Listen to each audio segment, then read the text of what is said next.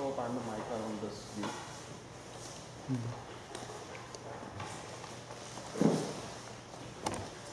Okay. Shall we? Yes. Okay. Is it rolling?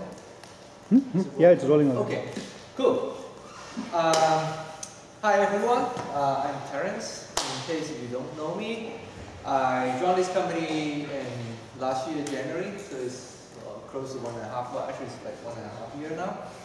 Uh, I worked on many pieces uh, on Reactor, uh, in specific like uh, all the Pro and Runner architecture, the open source Pro, and then something inside the data fabric, and something for a router, and that basically you can find my code like everywhere in your reactor. Uh, but today, the talk is about the stream on files. Oh.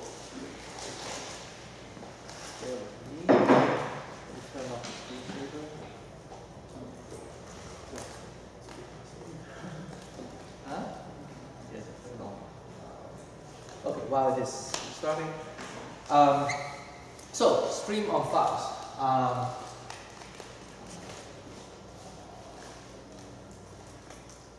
okay. Let me turn off. the screensaver quickly.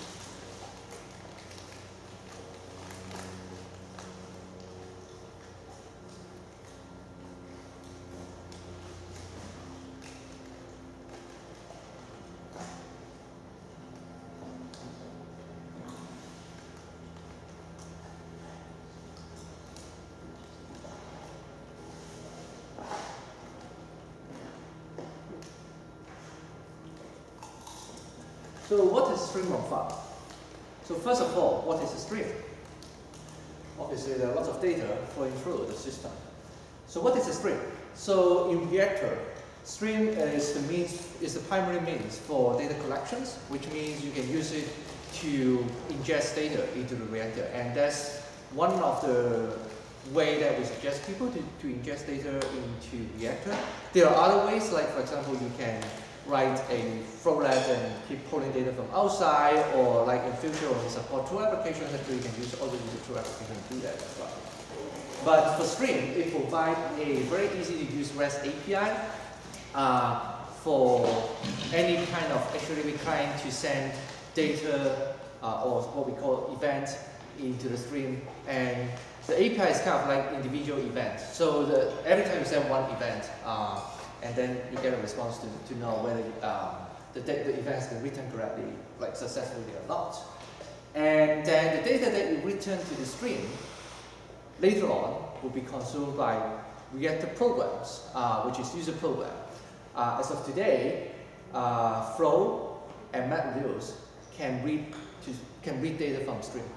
Okay, so for example, you can write a flow that keep reading data from stream and then like do some processing, maybe process it through some data set or do whatever you want. Or you can run a MapReduce job, uh, like what we did in the AT&T POC, uh, that will periodically process the data and write to HBase um, using workflow uh, to trigger MapReduce job periodically process the data. So these are the two major uh, consumer of the data to stream. Uh, in future, we might be keep expanding that uh, like capability uh, when we have like stream more integrated with data sets and other stuff as well. So the questions become, so why, why, why we emphasize stream on files, right, as what I'm going to talk about today? Uh, while there is a little bit of history, in the older version of Reactor, which basically before Reactor 2.2, Stream is implemented as um, queue on HBase. I'm not going to talk about queue today. Maybe we have another brown that we can talk about queue. Uh, but basically, we use the same implementation for Stream as well, uh, which uh, in one sentence is we store individual events as uh, individual rows in the HBase table in, in HBase table, and then the consumer like, like basically keeps scanning the table as a way to consume events from the stream. Uh, and it's the same implementation as the queue that we use for the flowlet, uh, interflowlet uh, communication. So why on file, right?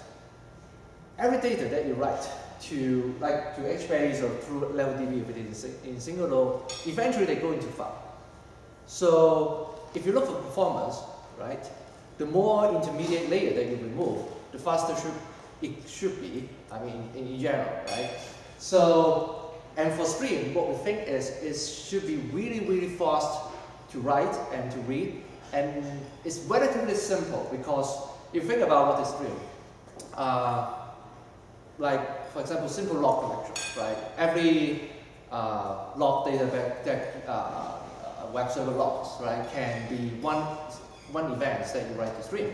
So the amount will be huge and you want it to be really, really fast.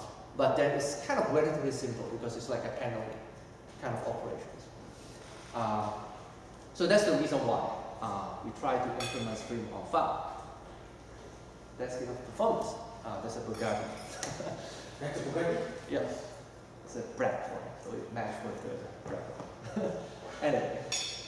So let me show you a really, really high level architecture first. Um, how does the whole thing looks like?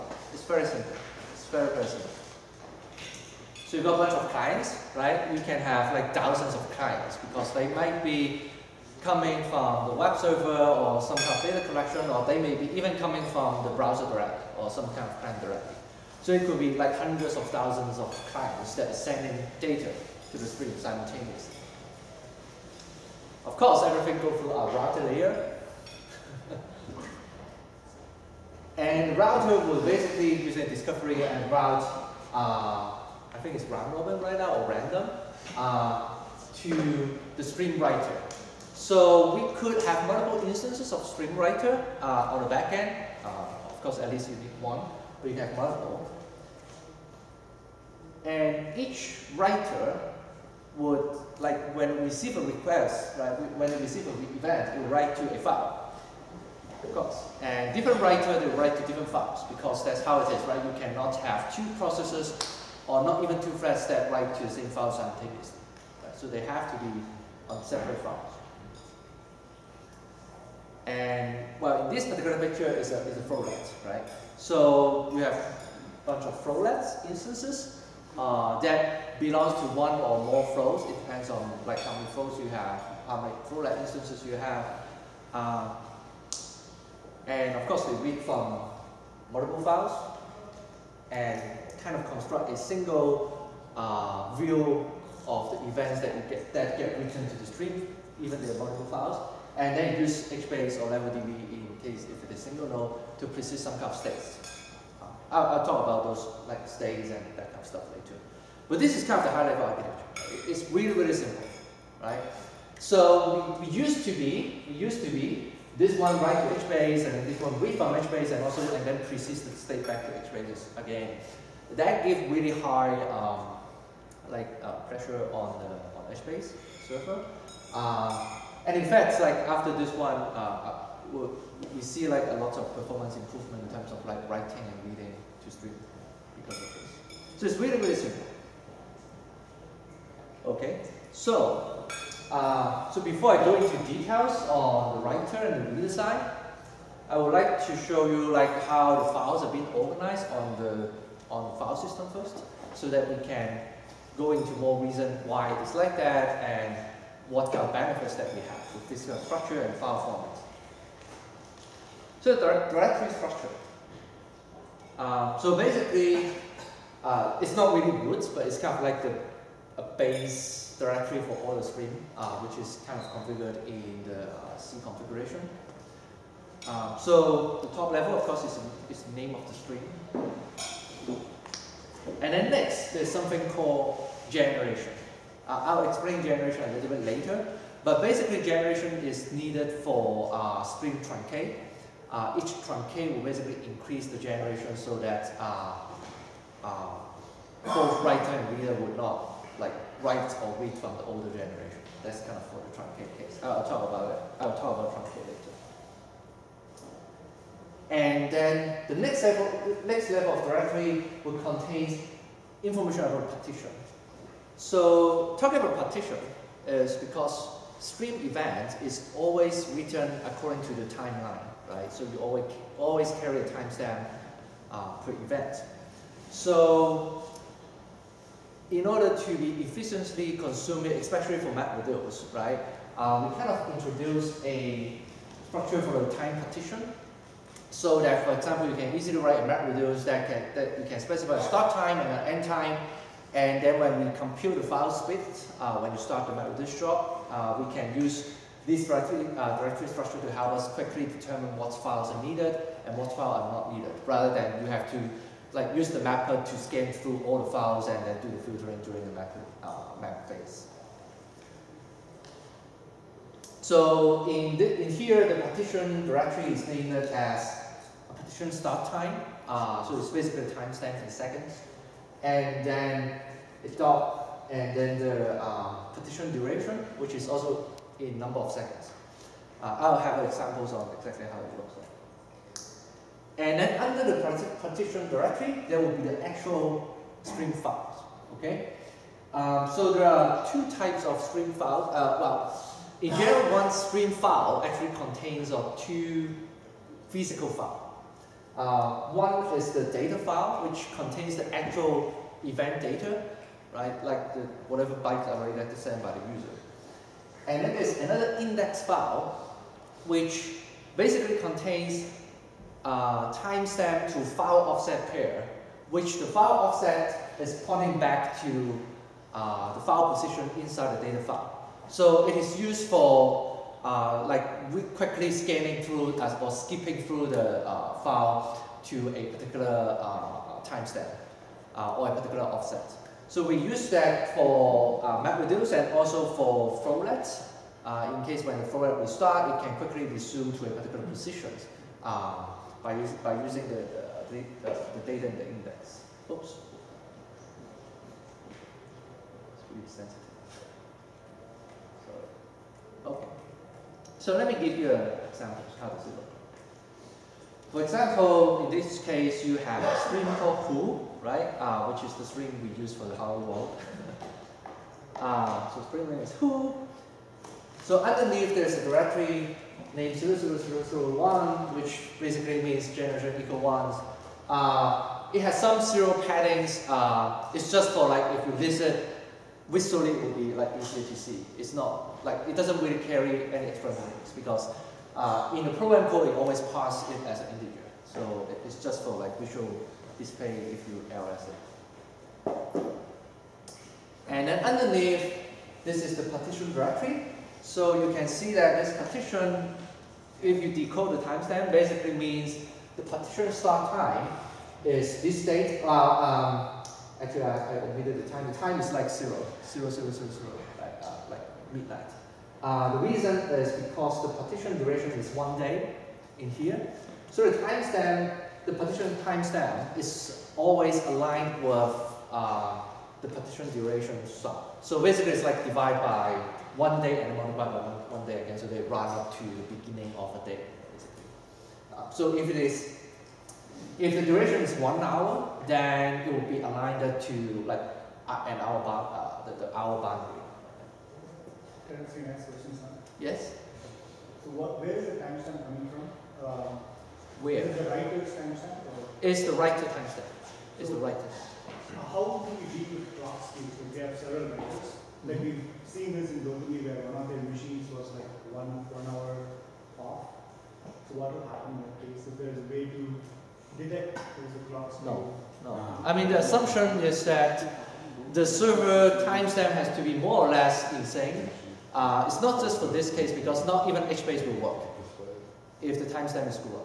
No, Not- but this, this has other problems, like, for like, for example, if we have a different system that is buffering and forwarding it, so if it holds it for, like, let's say, something happens, goes wrong with it, it's buffering for a day, and trying to send an event, it's for the next day's event that will come. So when you process it, Yeah. Well, the thing is because when you, if you do that, right, inside your event, you have to carry the your own timestamp or sequence number information, because there's no way for us to know what's inside data, and there's no way for us to know how long we buffer the things.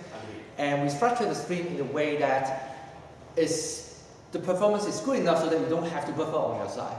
You can keep writing to the stream, and that will give you like near, like close to the, the actual um, time that the event happens. But of course, there will be latency across the network and that kind of stuff. So the timestamp is the time that the ser- that the writer see the event.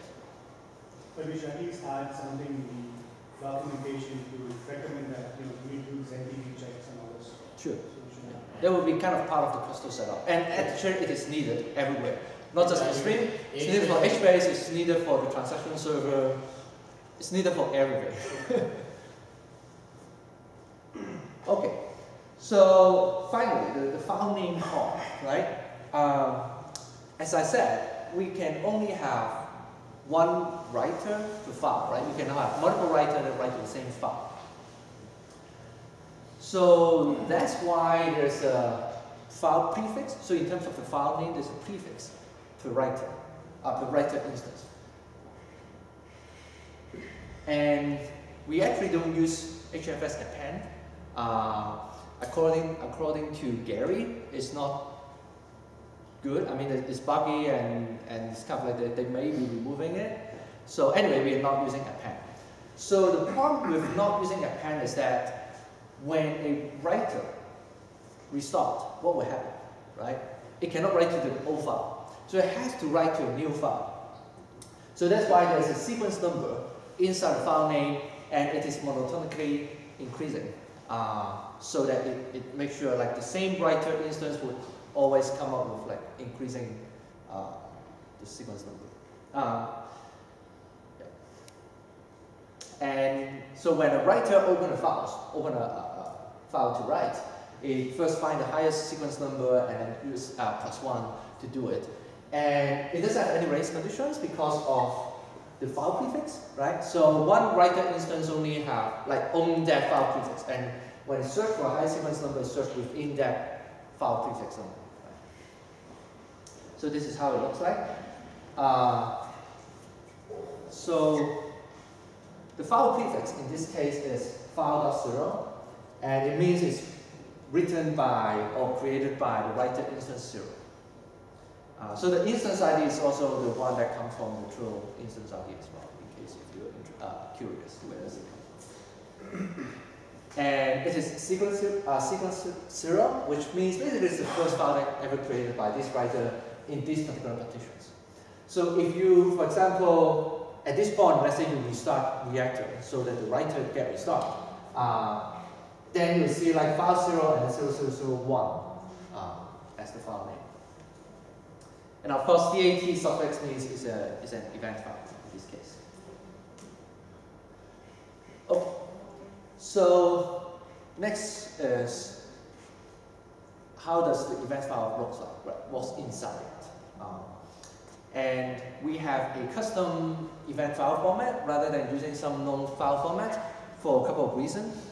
One is, the major reason is because we want to support tail, right, as flowlet needed for, uh, for that case.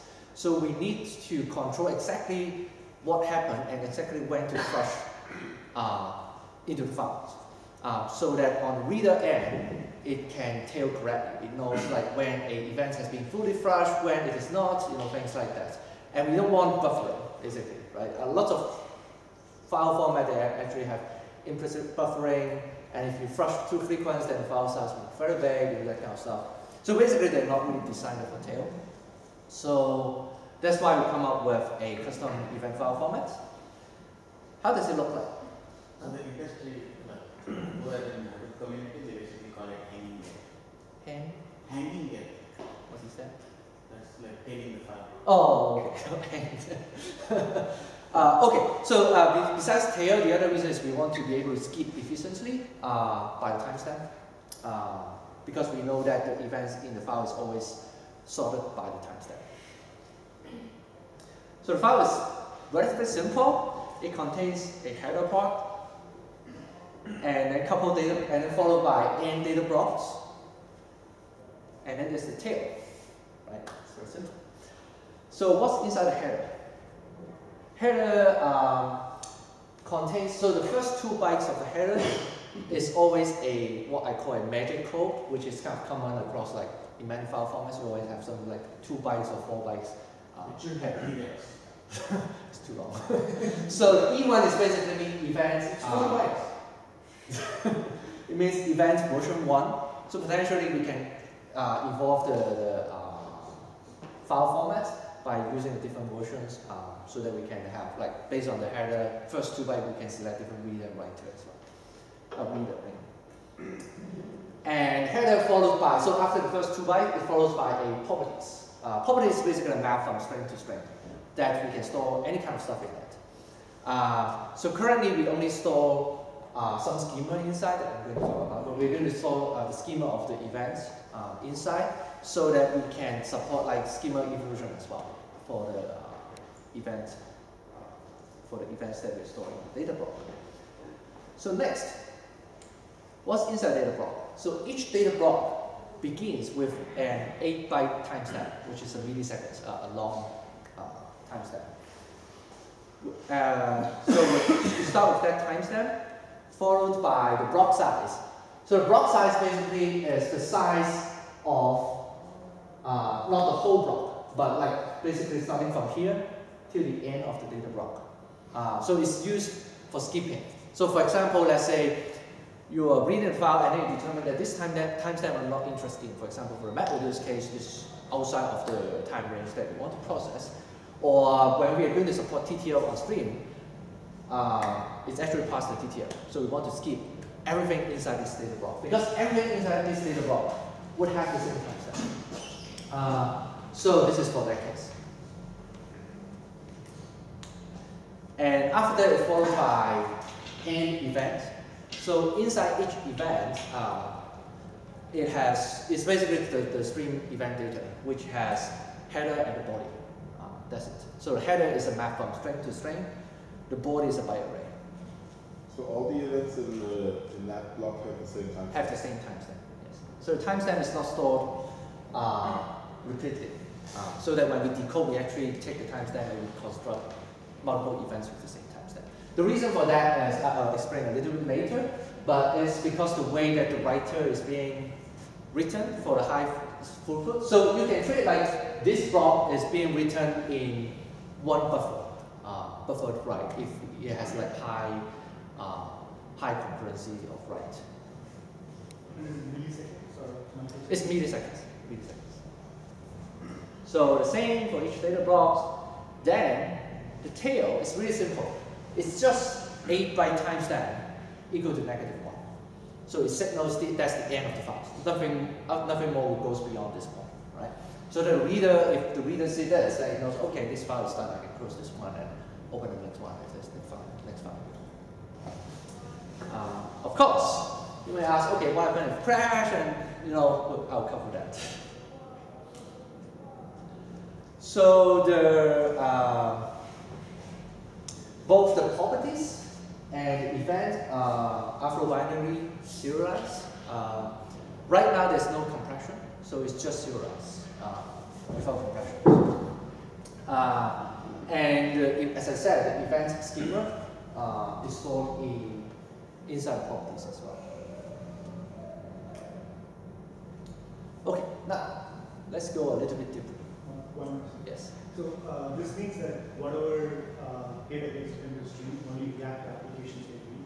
Do we provide any tools so? So we do have a stream input format class that knows how to read the stream files, right? That basically gives you uh, timestamp and a timestamp as the key because it's an input format. So it's uh, it's a standard Hadoop input format. So it gives you a timestamp and then the stream event uh, as the value. So we do have that. Uh, right now it's not really open source, uh, but we do have a format, uh, input format, and in fact we use it inside the MapReduce uh, run that we have, so that uh, to support MapReduce be able to consume stream data. Okay, so let's talk a little bit more about writer, uh, in specific the performance. So when we talk about performance, we always talk about two things, right? One is the latency, the other is the throughput. So first of all, latency. So latency is very important because that's basically the speed that gets perceived by a single client, right? Because a client sends something to the ser- uh, post something to a stream endpoint, uh, and then after a while he receives a response, right? That's basically the latency seen by the client. Um, and of course, the lower the better, right? The faster the better. Because if the client only have one client, right? Then if you have a really huge latency, then he cannot do a lot, right? But if you have a short latency, he can do a lot. Relatively, a lot more, right? And since the stream endpoint uh, guarantees there's no data loss, which means whenever the HTTP call with return 200, uh, it's guaranteed that the data has been written to a physical storage uh, in a replicated manner as well.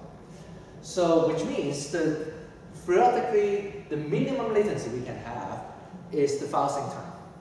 Right? You cannot go faster than that. Uh, I mean the, the HFS file sync time or the local file sync time, whatever it is. Um, so that's the minimum we, we can get, right? That's the best. Okay. Oh, that's latency, right? Basically, user is waiting. And throughput. What is throughput? Throughput basically is the flow rate, right? How fast the data can, how many data you can flow through within a, a unit amount of time. And of course, the higher, the higher the better.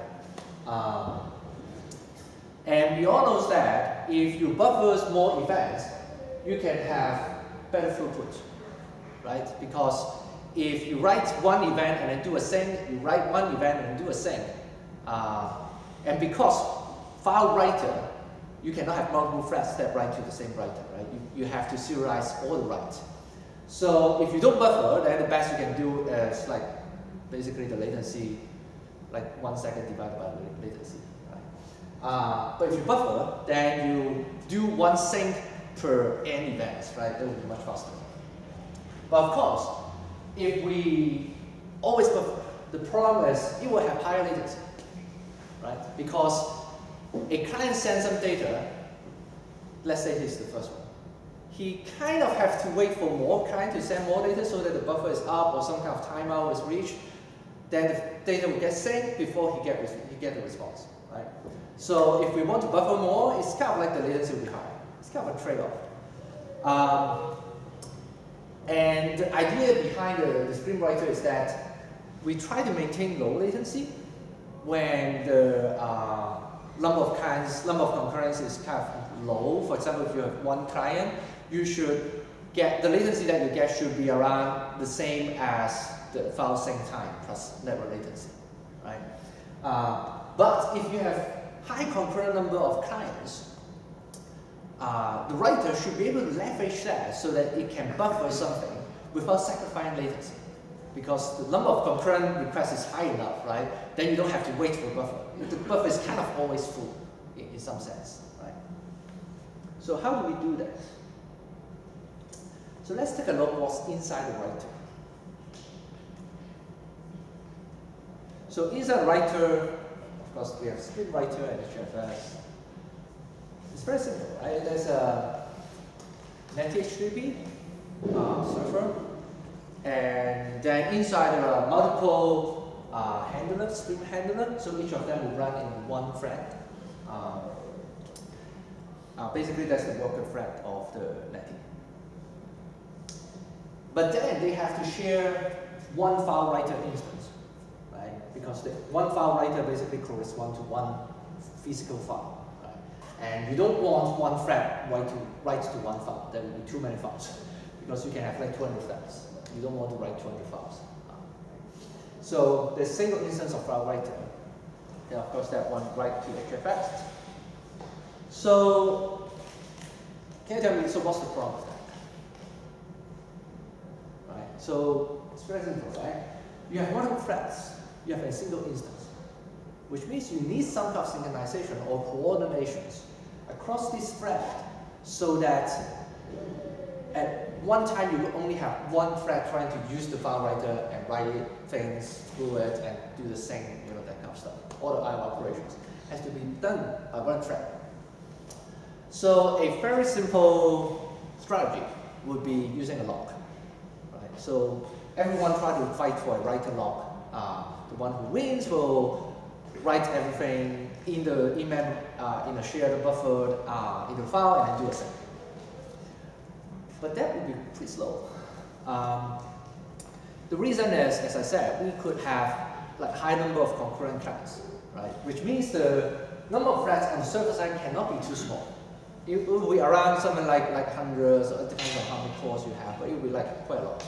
Uh, so that if you use a lock, the contention for the lock will be really, really high. Uh, in fact, I wrote an experimental version that used a lock, and that that's very, very slow. Like, like if you have high number of concurrent clients, all you can get is like a couple hundred uh, events per second uh, for the write because of the contention. So, how to synchronize access to the file writer? Inside the stream implementation, there's a class called concurrent Stream Writer. Uh, internally, the core algorithm looks like this. So as the name suggests, it's concurrent. So there's no lock involved. So algorithm looks like this. Basically, when a thread, when a handler thread receives an event, it simply enqueue it to a concurrent queue. It's a non-blocking queue, so it just append to the end of the queue. That's very simple, right? So remember, okay, so um, remember one thing is currently our endpoint only support one event at a time. We don't support batch events, right? So this is, keep, it, keep that in mind. So when you receive an event, it simply just enqueue uh, that event in the concurrent queue. Step two, we use a compare and swap, the case. Compare and swap to try to set an atomic boolean to true. So the atomic boolean initially is false, right? So you try to set it to true. If successfully set to true, which means that particular thread is the winner, and we proceed to further steps, the losers will go to the other steps, okay? So step four, which is part of the winner step. So the winner will dequeue, will keep dequeuing events from the concurrent queue and keep writing to the files until the queue is empty. Okay? And it's guaranteed that the queue would be empty at some point because you only have like n threads, right? So maximum there will be n events only. You cannot go beyond that. So you keep basically draining the, the whole queue and keep writing to files, not doing any second. So basically writes to file this part uh, is a combination of writing into some in-memory buffer uh, and uh, to local files that uh, the HDFS is being structured. So you know how you know HDFS when you write to HDFS uh, DFS output stream, you have to write to some local files before it gets shipped to, like it has to accumulate to a certain size before it's shipped to the, the actual data node. But anyway, so it involves like writing some in-memory buffer plus to some local files as being uh, uh, governed by the uh, HDFS output stream. So step five, after the queue is drained, it performs one file sync uh, to persist all the data being written, to make sure all the data being written in step four is being persisted. So you can see that this two step is basically the buffering and like the buffering and the setting, right? But it's not end yet. Next, it has to, so after the setting, it has to set the state of all the events that it dequeues in step 4 to complete it, right? So meaning that event, all these events has been like correctly persist. Or actually the complete can be fail as well uh, if the step 5 fails. But anyway, it, it basically make it mark it as completed. Step 7, which is very important it set the atomic boolean back to false. Right? It seems obvious, but actually this step is very important because this one triggered a happened before relations uh, in, in the Java, mem Java memory models. So once step 7 is being executed, it's guaranteed that all other threads will see the state that are being set in step 6. Okay? So in here, the state, there's no synchronization. There's not, it's not even volatile. It's just a simple variable. So it depends on, so it might leak to other threads earlier, but the step 7 guarantee that all other threads will see the changes. Step 8, uh, which is part of the loser step as well. So remember in step 3, we have a loser. It's part of the loser step, uh, step as well. So if the event owned by this thread, which means the events that you enqueue in the first step, that event is not yet completed, go back to step two. So it's a loop. Go back to step two and try to fight and try to fight for the right thread again. Okay? So you see there's no lock inside, there's no synchronization.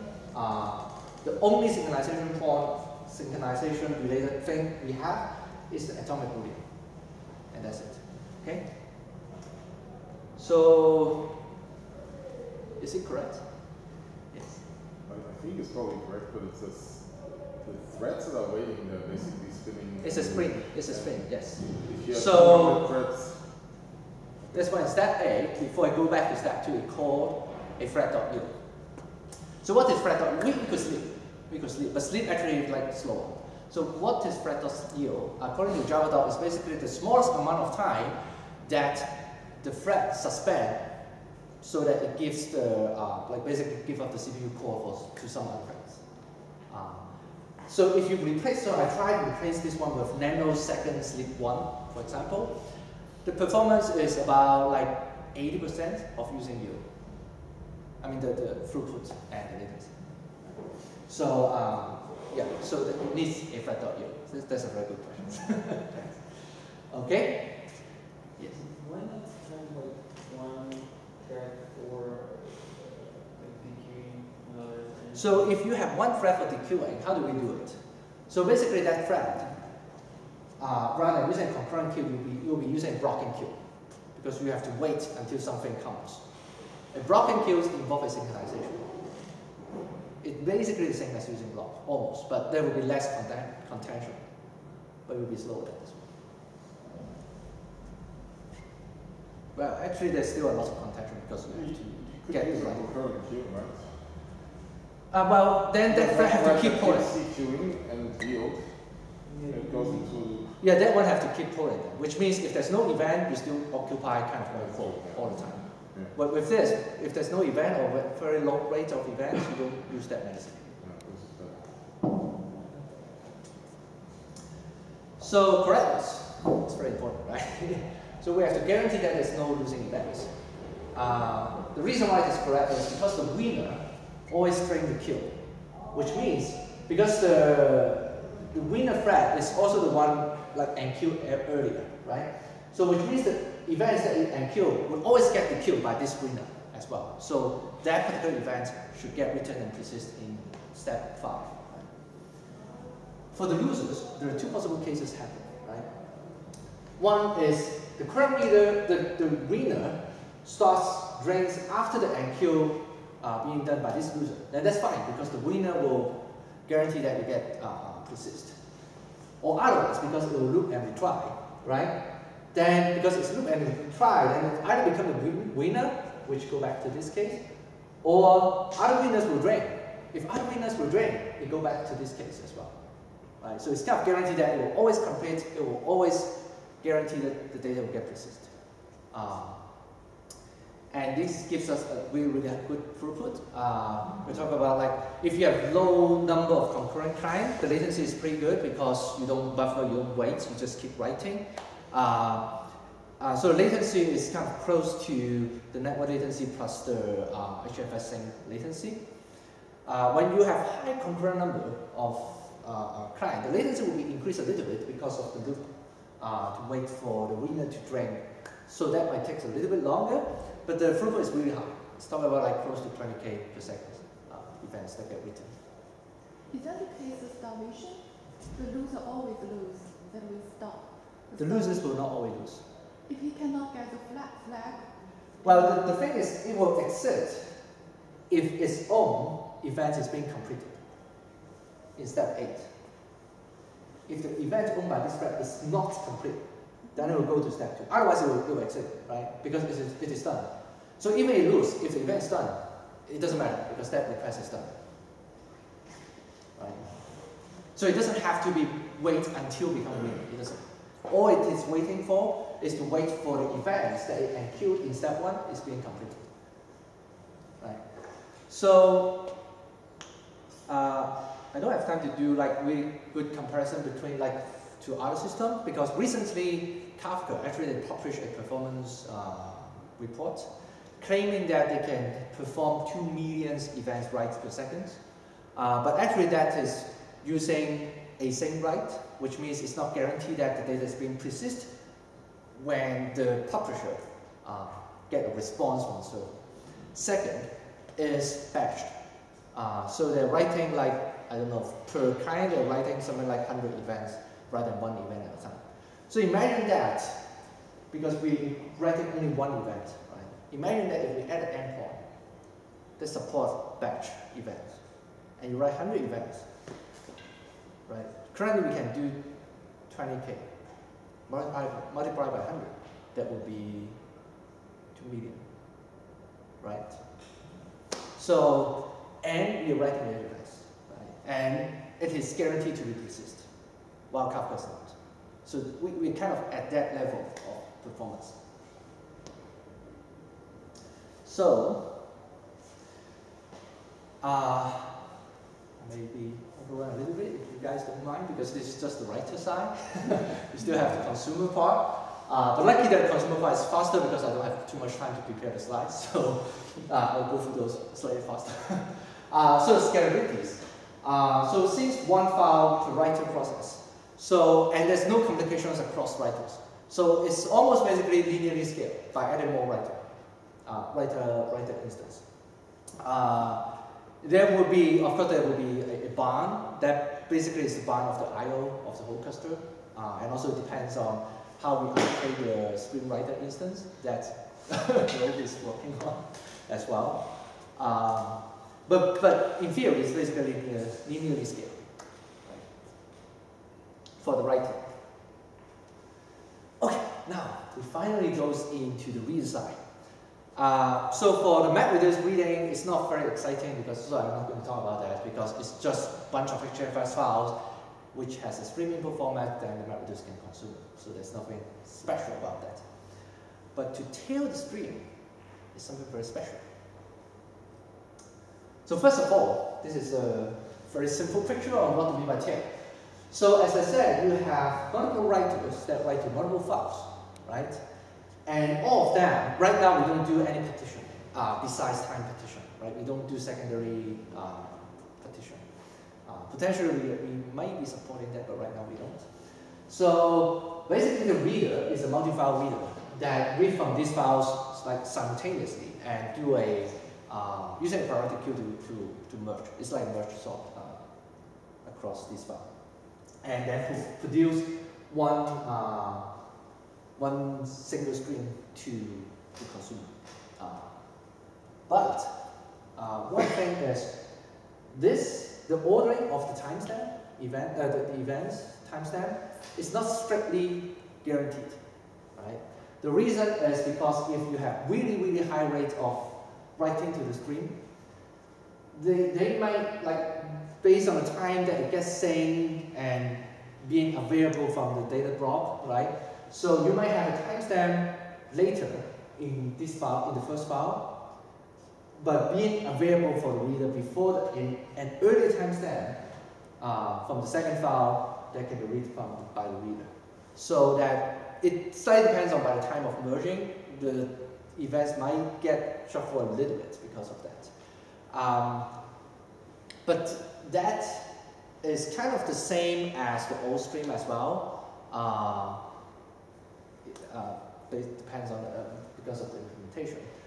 Um, so if we really want to do like strict ordering, um, I know there will be some delay between the read uh, because you have to buffer up to like I don't know 10 milliseconds. You for sure that you don't see it uh, or uh, 15 milliseconds depends on the latency. But we have to do some rough estimation on the buffering uh, if we really want to provide like strict ordering of the timestamp. But right now we don't. So tailing HDFS file. This is specific for HDFS file, not for the local file mode, but uh, they are implemented with the same reader, so they kind of operate in the same way. HDFS files doesn't really support tail. Okay, so basically you cannot open an input stream and then have another process open an output stream, and this one keep writing, this one can keep reading. You cannot. right? In local file you can but in HDFS file you cannot. You cannot in the way that uh, you will get end of file exceptions when you try to read from an HDFS file that is not yet closed but doesn't have like more data. So you get an exception, rather you get block or rather you get zero bytes being read. Uh, so the strategy is pretty simple. Uh, every time there's an end of file exceptions, the reader will reopen the stream uh, until it sees the, the ending timestamp, uh, the tail point, which is negative one timestamp. Then it knows that that's the end of the file. It won't try to uh, reopen the file again. Uh, so this is how we tail in general. But there's a case that the writer crash. So what happened if the writer crash? When writer crash, there's no negative one, minus one times timestamp being written at the end of the file, right? But when the writer crash, we assume that it will start at some time in future, right? After it crash. As I said, the, because of the file format, or the, the file naming convention, the writer will always try to create new file to write. And the new file is either with a new sequence ID or in a new partition, depending on when the sequence started. So that's why the reader also regularly looks for new files uh, on the HDFS system. It only looks for that if there's no events being read from the current uh, reader stream that it opened. Because if there's like data being read, then it doesn't bother whether there's a new file yet or not. Because eventually it will hit the end, then it will open a new. Uh, so if no event read, it will look for files with the next sequence. Uh, and also based on the current uh, time, it will uh, also try to find the new file in the new partition as well, because it knows when it will have new files based on the partition two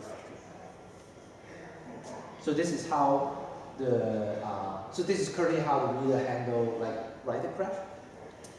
We could potentially do it better on on this two part by rather than like you have to regularly look for new files, uh, we can leverage uh, like Zookeeper as a channel to like propagate some events that when writers has created new files.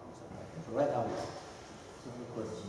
If the writer doesn't crash, but it's simply idle because no event is right. But now there's a reader that wants to tail, Mm-hmm. maybe even multiple readers. Right? Mhm.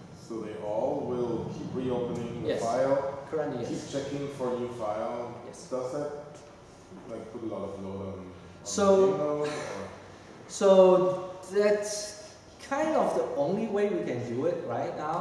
Uh, uh, and so that's why there's a back off in the in the flowlet.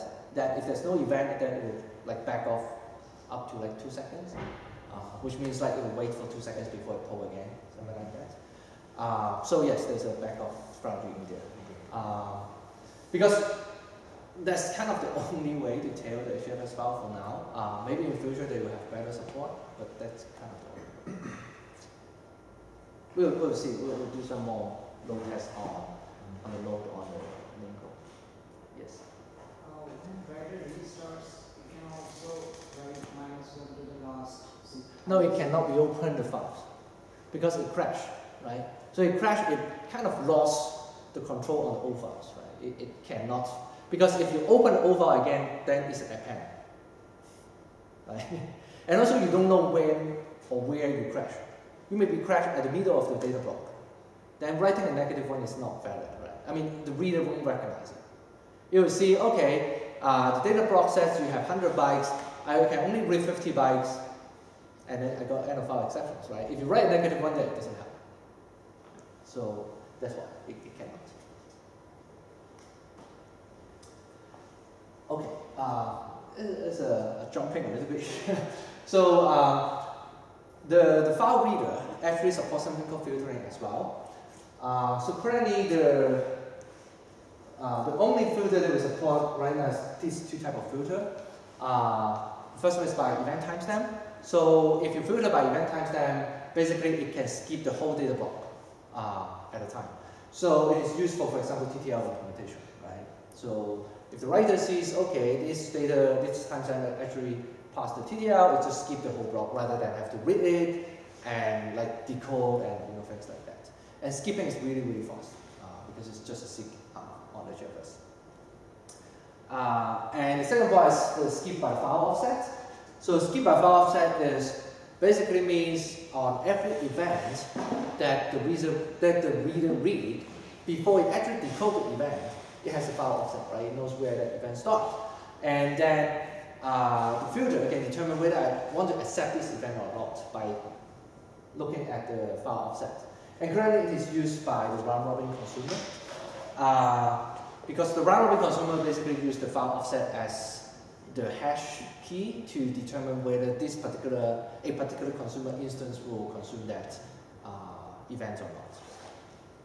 Uh, so you, know what is robin consumer?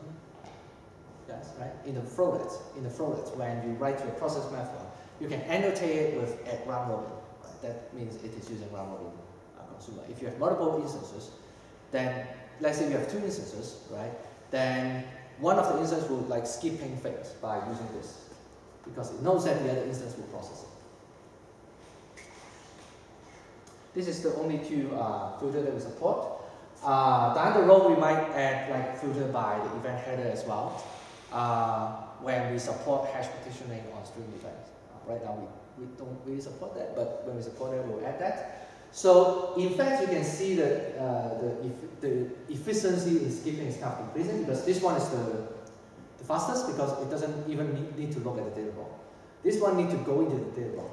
If we add the filter by stream header, then you need to decode at least the stream header uh, before it can skip.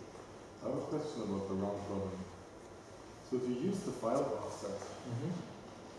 and then you do like a modulo the number of consumers, Some real problem. It's not real, real round. Right. round robin, because if all my events say have size 10, then there will all be multiples of 10.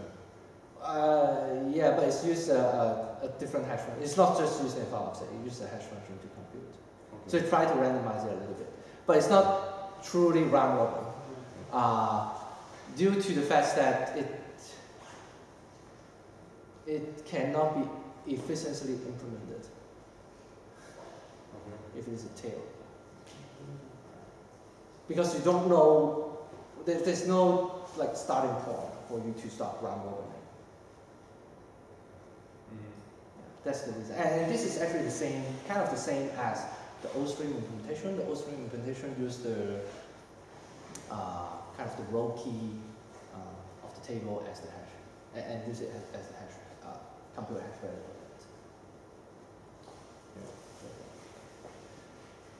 Okay. Okay. Next uh, is the consumer state. So consumer. So remember. So when I talk about consumer, it's basically flow, basically means flowlet in this case, right? So the consumer state, uh, we, we need that because in flowlets, we guarantee exactly one's processing, right? Um, so even the consumer crash, right? if you have processed something, if you have processed one stream event and you commit that processing, right, then it's guaranteed that even you crash and restart, it will not get reprocessed, right? So we need to persist the state. So during the, the, the consumptions of the events, uh, the states are being persisted to either HBase or LevelDB. Uh, the states are written transactionally. Uh, the key of, so it's, it's, a, it's table, right? So the key uh, to the state is basically for each event, it has the generation number, a encoded representation of the file name, which contains like partitions and file prefix and things like that, plus the file offset. This is the key. And the value will carry the right pointer, which means the one who process and commit this entry, uh, the instance ID, and the state. So the state will simply just say processed uh, in uh, if it is like completely processed. If it's not processed, uh, of, or if the process is failed, then there's no state being written. So given that, uh, how many IOs that the consumer will do during the queue? So each decode from the stream, let's say the batch size is n, whatever that batch size is. Uh, for the round, so there are two cases, right? For the round robin case, or for the FIFO case that you only have one instance, okay? Uh, it first roughly do n multiplied by number of uh, instances, number of consumer instances, widths or skips, combinations of widths and skips uh, from the file readers. Uh, so if you have like two instances of round robin, for example, it will do 2n of widths, but then the widths actually have skip inside because of the use of the file filter. Uh, plus a batch write of n rows to HBase on commit. Okay, so when you dequeue, right, you dequeue something, and then you call the uh, flow uh, process method to process it, and then the, the method returns successfully, and then you do a commit, then on commit, do the write to the HBase. Uh, of course, uh, there would be like rollback, and then you have to delete the rows if it is like uh, commit failed or whatever that if there's conflict. But in, in in normal case, uh, in optimistic case, because we're using optimistic concurrency control, in optimistic case, that the number of IOs uh, for this type of consumer, round robin or FIFO size equal one, uh, size equal one. But for FIFO of size greater than two, greater than or equal to two, uh, it could be pretty slow. That's why we don't, we always say it's just use round robin for, for the stream. Uh, so it still do roughly around n multiplied by size of widths or skips. Uh, well, actually in this case there's no skip at all. It cannot skip. So I, have to change. There's no skip. It's only widths. Um, well, actually, uh, yeah, it's only skip. Uh, only widths. And then it has to do an I, I the upper bound would be the n multiplied by size, which basically for each event instead of width, it tries to do a check and put into the HBase, which is basically fighting for that entry, to, to claim that entry. So the check and put to HBase is basically writing a claim state to the state table, as I mentioned earlier. So if that operation is successful, then that particular instance of consumer own that win and own the entry and will process that entry. And the other one will lose and go on to the next one and so on and so forth. So you can imagine that there will be a lot of write uh, to HBase because of that. Wait, is it like batch check input? Hmm? Can you batch check input? Uh, we actually talk, ab- no, check input cannot batch. You know? I don't think HBase API support batch check input. As I remember. I don't think so. You don't think so? Maybe that would be a good coprocessor to Yeah. run. I think I think the, the, the raw HBase kind doesn't support uh, batch check input. Yeah. If you use Kubernetes, then you can do it on server side of the loop. Right now, doesn't. And of course, at the end, when the commit is still batch writes n rows to HBase on roughly around n rows, right? Depends on how many how many entries it means in, in these steps, right? Uh, uh, n rows to HBase on commit. So that's why you see like if you're using round robin or like FIFO, but you only have one instance, then the the number of writes to HBase is like kind of the minimum you can get already. Uh, but if with FIFO, then there will be a performance hit. Um, in fact, with the not with Spring, but with Kill, with uh, FullRect Kill, we did some performance tests before uh, for FIFO. Uh, the performance kind of top at like you have three number uh, number of instances equal to three. After that, then the performance will start degrading because of these steps. Because of the contention of the steps. Okay, next is, is almost done. So next is the uh, consumer state store. So per consumer instance, we also have another table that maintain the state of that particular consumer instance. So what do you mean by state of a consumer instance? It's basically a list of file offset. Um, because as I said, the consumer is actually reading from multiple files, right? So each files have different offsets uh, based on where does it go, uh, like how far does it read. Um, so they, they basically a list of file and offsets. And it is guaranteed that the events before these offsets are all processed, are all committed and processed, perceived by this instance. Okay? The reason is, think about round robin case, as I said, right? The round robin case will skip uh, record.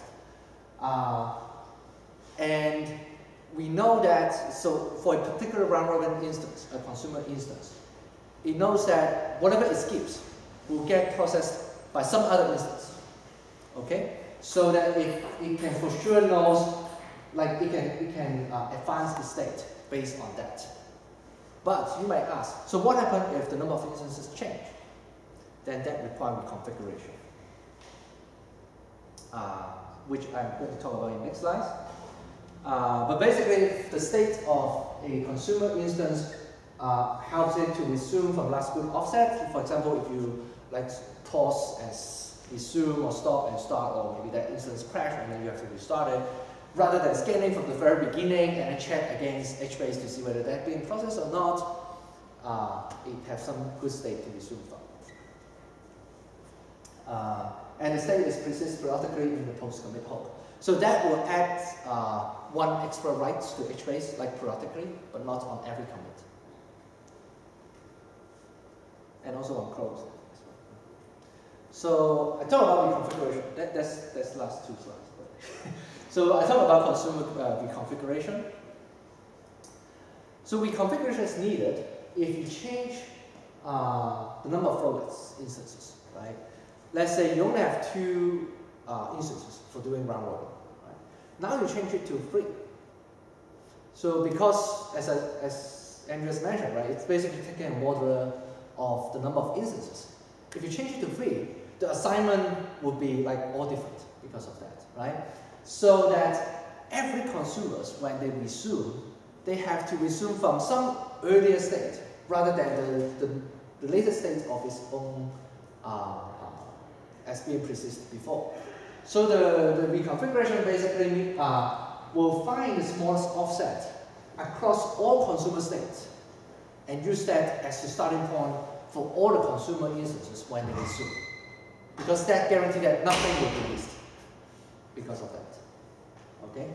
Um, and actually, I, I skipped some details in here because uh, when a consumer start the first time, it actually have to perform some extra read uh, to HBase because it might see events that are already processed um, up to a certain point. So there's a that's one of the most complicated part inside the stream consumer implementation uh, to make it like perform but yet correct.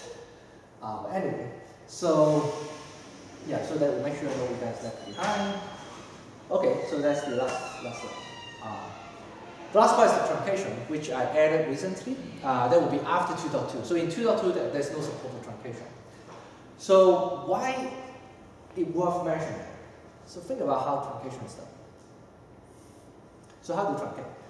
Simply, so in the old days, when we use HBase, truncate basically means just truncate the table, right? I mean, disable table, drop everything, enable table, uh, recreate, like drop table, recreate table with the same uh, parameters. But with file, you cannot do that easily because you have writer that are opened to a particular files. You have readers that have the reader opens to those particular files as well. So for truncate, you cannot just delete those files, right? You, you run into some unknown state. and if you delete those files and you don't know exactly what will happen, and and after you truncate, if there are like writes happenings, then they may be still